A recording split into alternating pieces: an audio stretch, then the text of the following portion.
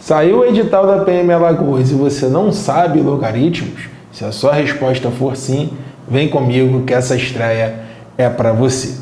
Eu sou o professor Marcão, uma boa noite a todos e seja muito bem-vindo e seja muito bem-vinda a mais uma aula específica voltada para o concurso da PM Alagoas.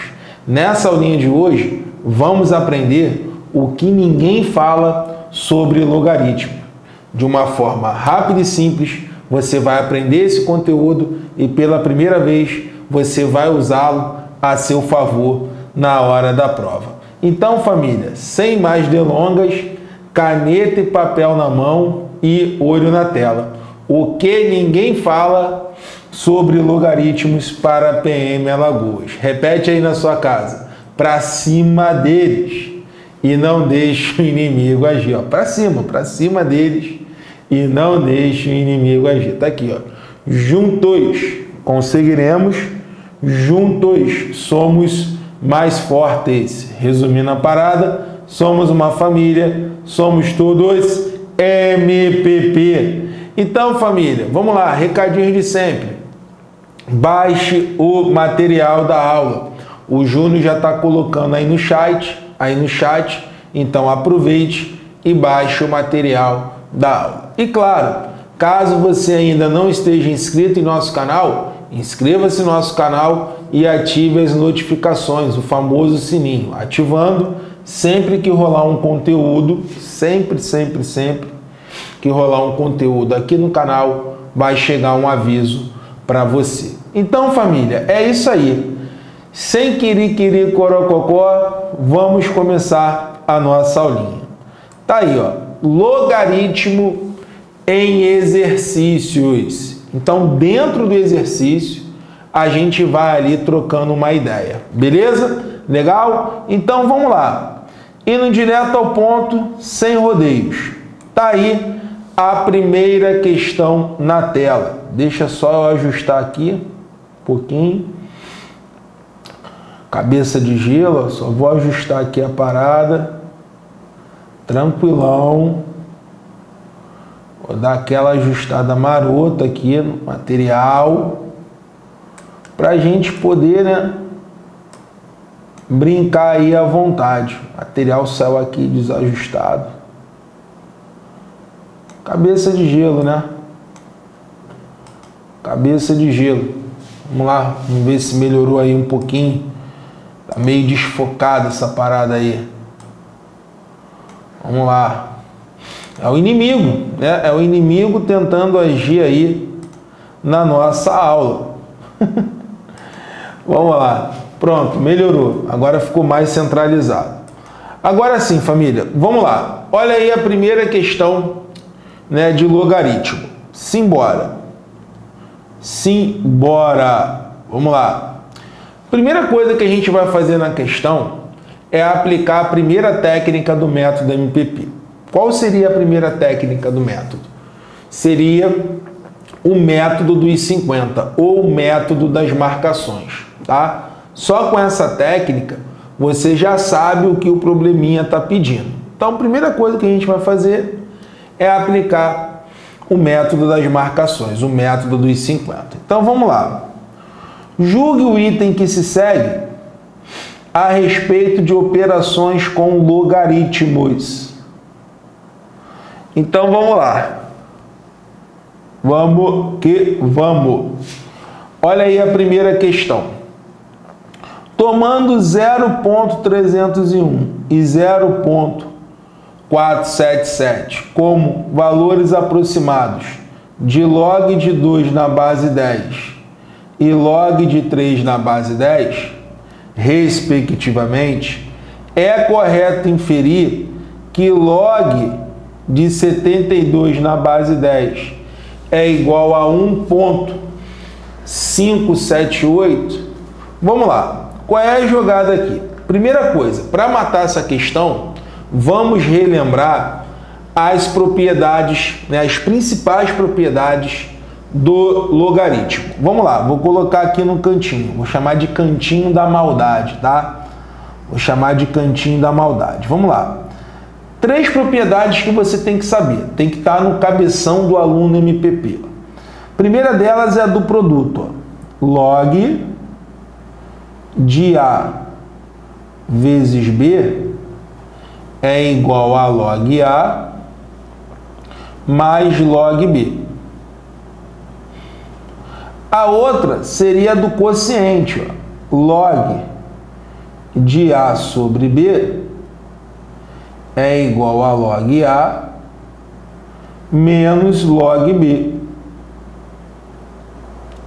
E a outra, que é muito importante, é quando logaritmando né, tá elevado a algum expoente. Por exemplo, log de A elevado a N. Né? Olha lá, o logaritmando está elevado a um expoente. Quando isso acontece, né, o logaritmando tiver elevado a um expoente, você vai dar um peteleco. É a regra do peteleco. Você vai dar um peteleco no expoente e ele vai para frente do logaritmo, né? Ele cai na frente do logaritmo multiplicando. Então ficaria n vezes log de a. Beleza? Essa daqui, ó, é a regra do peteleco. Cara, tem expoente, dá um peteleco. Esse é o bizu. Então, basicamente, são essas propriedades que você tem que saber, tá? Elas são as mais importantes quando falamos em logaritmos. É exatamente isso que a gente vai fazer nessa questão. Vamos lá, primeira coisa que a gente tem que fazer, ele está pedindo o cálculo do logaritmo de 72 na base 10, não é isso? Então, primeira coisa que eu vou fazer aqui é fatorar o 72. Vou para o cantinho da prova e vou fatorar o 72. Por 2 vai dar 36, por 2 vai dar 18, por 2 vai dar 9, por 3 vai dar 3, por 3 vai dar 1. Então, 72 é a mesma coisa que 2 ao cubo vezes 3 ao quadrado. Então eu posso reescrever isso aqui, ó. ó. Log de 72 na base 10 é a mesma coisa que log de 2 ao cubo vezes 3 ao quadrado na base 10. Agora sim eu vou aplicar a propriedade. Olha aqui a propriedade do produto. Log de A vezes B é igual a log A mais log B. Tem até a musiquinha, né? Log de A vezes B é log A mais log B. Log de A vezes B log A mais log B. E o log de A sobre B é log A menos log B. Cuidado, o produto vira soma né? E o quociente, né? A divisão vira a subtração. Nesse caso, como é o produto, quando eu abrir aquilo ali vai virar uma soma, beleza? Então vou até apagar aqui para a gente ganhar espaço na questão. Como é que vai ficar ali a parada? O produto vira o que? A soma. Tranquilão, né? O produto vira a soma. Então, desmembrando ali a parada, ficaríamos com o seguinte, log de 2 ao cubo na base 10, mais, no talento, ó, log de 3 ao quadrado na base 10. Tranquilaço, né? Só aplicando aqui a propriedade. Agora, vamos lá. O que, que eu vou fazer aqui agora? Qual é a propriedade que eu vou aplicar. Primeiro eu apliquei ali o produto, né? o produto vira soma. Agora eu vou aplicar a propriedade do peteleco. O que, que eu falei para você? Tem expoente, cara. Tem expoente, dá um peteleco. Tem expoente, dá um peteleco. Quando você, né, quando você ali der o peteleco, vai dar o peteleco ali no expoente, o que, que vai acontecer? ele cai, só que ele cai multiplicando. Vai ficar 3 vezes log de 2 na base 10, mais 2 vezes log de 3 na base 10. Aí eu estou em casa. Por quê? Ele já me deu esses valores. Quanto é que vale log de 2 na base 10? Está aqui, ó. 0.301. Quanto é que vale log de 3 na base 10? 0.477. Aí fazendo ali o produtinho, cabeça de gelo. 3 vezes 0.301. Isso aí vai dar 0.903 mais 2 vezes 0.477 vai dar 0.954. Aí eu vou somar 0.903 mais 0.954. Isso aí vai dar 7, vai dar 5, 8 vão 1, vai dar 1.857. Então, esse seria o valor de log, né? lembrando, o que, que a gente está calculando? É o log de 72 na base 10. Né? A origem está lá, log de 72 na base 10. Deixa eu ver se cortou alguma coisa. Não. Agora sim eu posso julgar o item. O que, que o Sebrasp está falando aqui? Né? É correto inferir que o log de 72 na base 10 é igual a 1.578? Não, é 1.857. Então, na nossa prova, esse item, família, estaria errado. Legal? Esse item na nossa prova estaria errado. Então, Vamos olhar a palavra.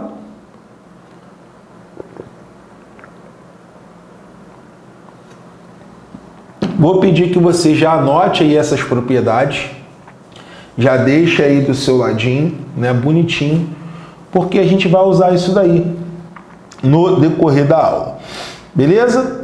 Então, vamos lá. Passamos para a próxima questão. Agora vamos entrar nas funções, né? Vamos entrar no assunto função, só que agora é função logarítmica, tá? Mas cara, já coloca na tua cabeça aí o mantra MPP, independente do tipo de função, tá? Independente, logarítmica, exponencial, segundo grau, primeiro, independente da, da função, tá? Qual é o mantra para a função? Mantra MPP. Vou até anotar aqui, ó. mantra MPP. Quem está fechado aí com o método, coloca aí no chat que eu vou falar, quem está fechadão com o método. Vamos lá, qual é o mantra para função? O que, que tem que estar tá na tua cabeça? Função rima com substituição. Função rima com substituição. Independente da modelagem, função rima com substituição. Beleza? Legal? Agora vamos lá. Já anotou aí o mantra? Agora vamos lá. Julgue o item subsequente relativo às funções f de x e g de x. O domínio da função f de x é o conjunto dos números reais positivos e f de 8 é igual a 27? Vamos lá. O domínio, com certeza, é os números reais positivos. Por quê? O domínio está associado ao x. Ó. Estamos analisando a função f. O domínio ele está associado ao x. Ó. E o x é o logaritmando, né? Ele tem um nomezinho de batismo. Esse carinha aqui, ó, né, é o logaritmando. E o logaritmando, ele tem que ser positivo. Né? Ele tem que ser um número real né? e ele tem que ser positivo, é uma condição de existência.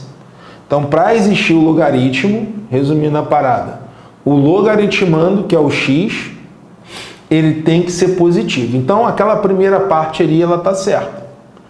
Beleza, a primeira parte está certa.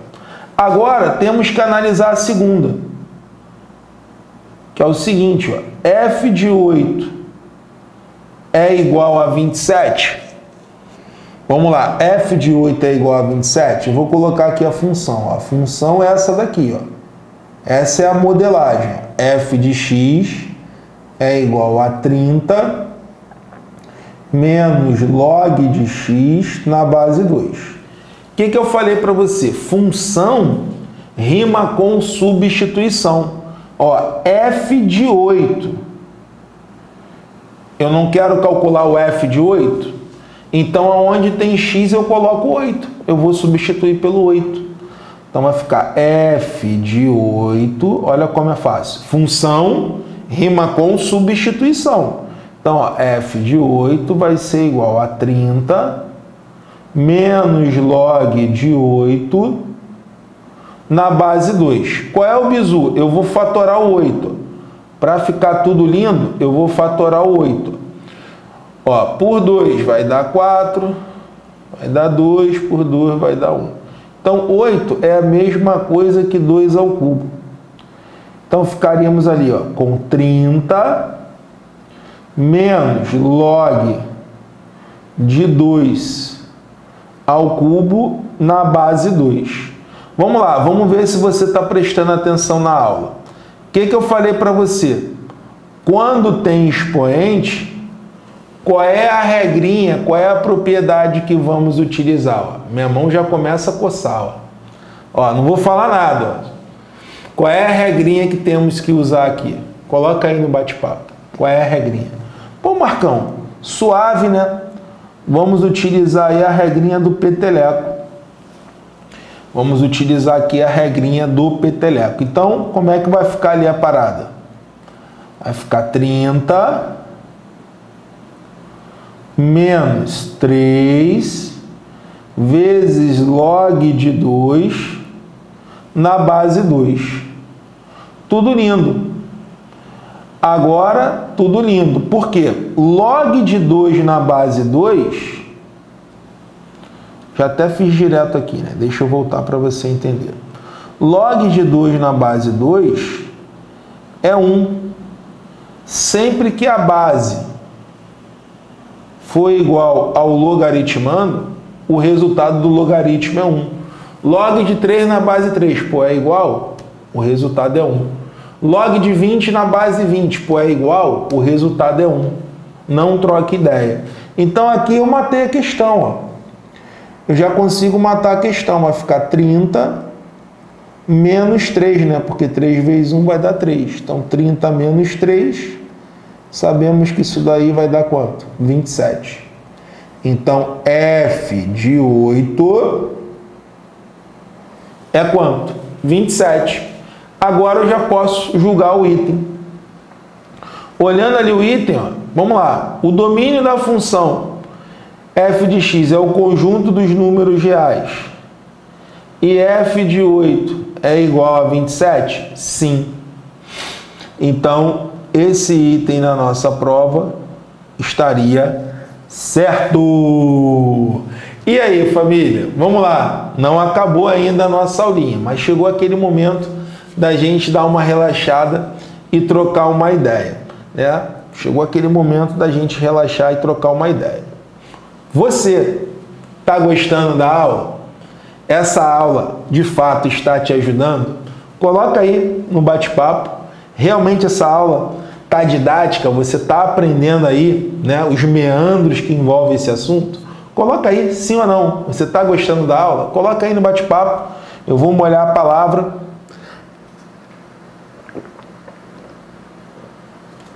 E daqui a pouco eu vou te fazer uma pergunta, né? Daqui a pouco eu vou te fazer uma pergunta. Vamos lá, qual é a pergunta, Marcão? Você quer aprender a interpretar problemas de matemática de uma forma rápida e simples para o concurso da PM Alagoas? Se a sua resposta for sim, Cara, vem estudar com a gente através do nosso curso específico da PM Alagoas. E esse curso, ele tá com quatro bônus. Ele tá com quatro bônus. Além dele ter todo o conteúdo programático, né? De acordo com o edital, né? Conteúdo bonitinho lá para você. Estamos te dando aí, ó, quatro bônus.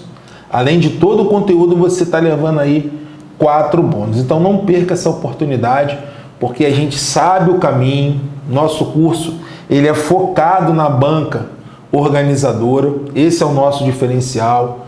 Nesse curso você está levando, por exemplo, um novo MAB, um curso de matemática básica, né? diferente do que está aqui no YouTube.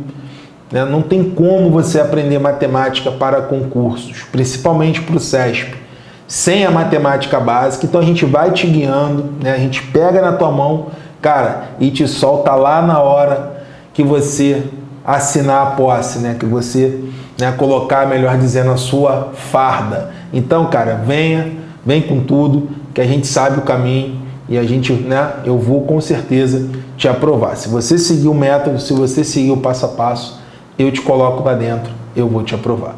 Legal? Então vamos lá, como é que funciona? Marcão, me interessei, quero saber valores, como funciona. Cara, entre em contato com o Júnior. Se você está interessado, você vai adicionar ele aí no WhatsApp. Ele está colocando no chat aí, né? Está colocando no chat, mas eu também coloco aqui para você visualizar. Ó, 021 9702 99 443. Então, ficou interessado? Ficou interessado? Quer dar o próximo passo? Cara, tá aí a solução. Beleza? Não deixe essa oportunidade, né, passar, porque quanto mais tempo demorar, cara, pior. Quanto mais tempo, pior, tá? E a matemática pune, realmente ela pune.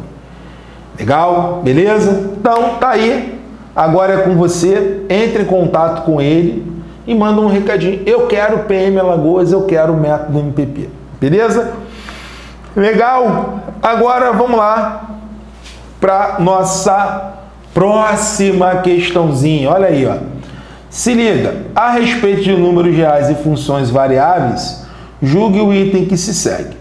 As únicas soluções da equação são x igual a 1 sobre 9 e x igual a 27? Vamos verificar. Qual é o bizu aqui, família? Vamos utilizar um artifício. Qual o artifício que a gente vai usar? Vamos substituir log de x na base 3 pela letra y.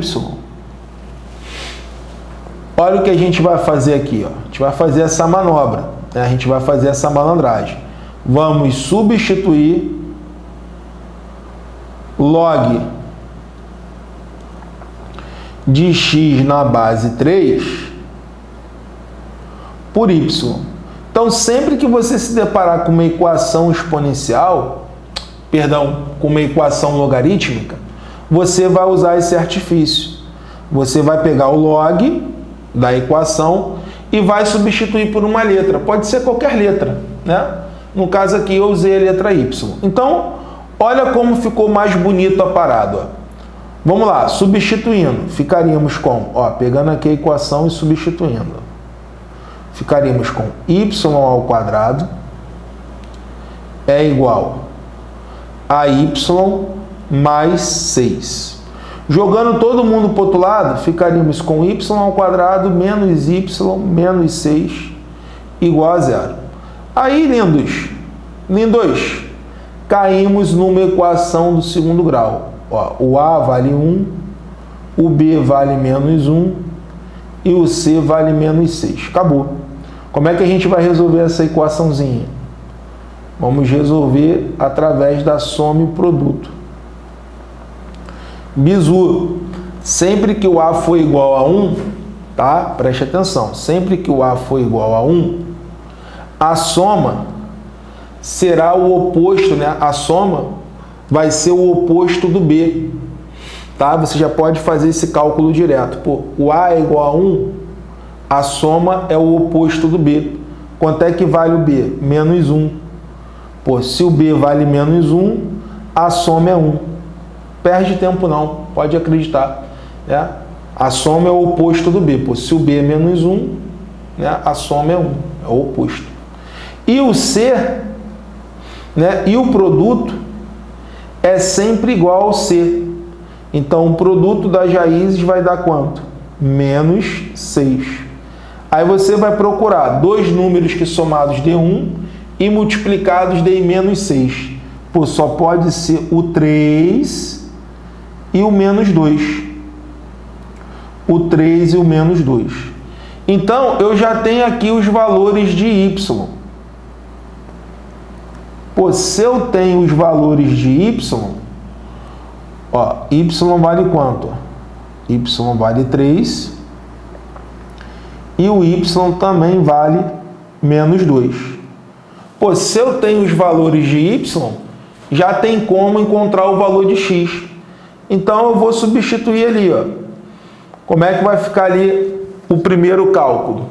Vai ficar log de x na base 3 igual a 3. Esse é o primeiro cálculo que eu vou fazer. Ó. Eu vou igualar o logaritmo a 3, que é o primeiro valor de y que eu encontrei ali. Aí vamos lá, como é que eu encontro o valor desse logaritmo? Vamos aplicar aqui o princípio da voltinha. Ó, sempre nesse sentido, ó, é só acompanhar a voltinha. Esse elevado a esse é igual a esse. Resumindo a parada, eleva e iguala. Então x, que eu vou chamar de x1, que é o primeiro valor, vai ser igual a 3 ao cubo. Quanto é que vale 3 ao cubo? 27. Então já achei aí o primeiro valor de x. Legal? Agora vamos lá. Como é que eu vou encontrar o outro valor de x? Agora eu vou pegar o logaritmo e vou igualar a menos 2. Vai ficar log de x. Opa. Log de x na base 3 igual a menos 2. Eu vou fazer a mesma coisa, voltinha neles. Esse elevado a esse é igual a esse. Então, x2 vai ser igual a 3 elevado a menos 2. Opa, deixa eu sair daqui, ó. Expoente negativo inverte a base, né? Então aquilo ali é a mesma coisa que 1 sobre 3 ao quadrado. 1 sobre 3 ao quadrado é a mesma coisa que 1 nono. Está aí a segunda raiz. Olhando ali agora o item. As únicas soluções são 1 nono e 27? Sim. Então, esse item na prova estaria certo. E essa foi a nossa última questãozinha. Ah, Marcão, não acredito que essa aula acabou. É isso aí, família. Em poucos passos trocamos uma ideia aqui sobre logaritmo. Eu tenho certeza, né, que né, tua visão agora é outra. Você já percebeu aí que é possível aprender esse conteúdo. Cara, se você quer evoluir, né, se você quer dar o próximo passo, não só de logaritmo, mas de todo o conteúdo da PM Alagoas, tá aqui. Esse é o nosso curso, esse é o curso que vai te aprovar e vai te levar para um outro nível. Cara, quer ter informações, quer saber valores, né? Cara, entre em contato com o Júnior através desse né, telefone, desse número do WhatsApp. E se tiver interesse em pegar o resumo da obra, o resumo da obra, é mole? Se tiver interesse em pegar o resumo da aula, entre para o grupo VIP da PM Alagoas, tá? O Júnior vai colocar aí para vocês. É só entrar no grupo VIP que daqui a pouco vai estar tá lá o resumo com todas as minhas anotações. Então entra aí para esse grupo para você pegar o resumo da aula. E cara, tá aqui, ó. Lembre-se, que o estudo é a estrada que levará você onde deseja chegar. Insista, persista e não desista. Matemática é o quê? Para passar. Valeu, família. Um abraço.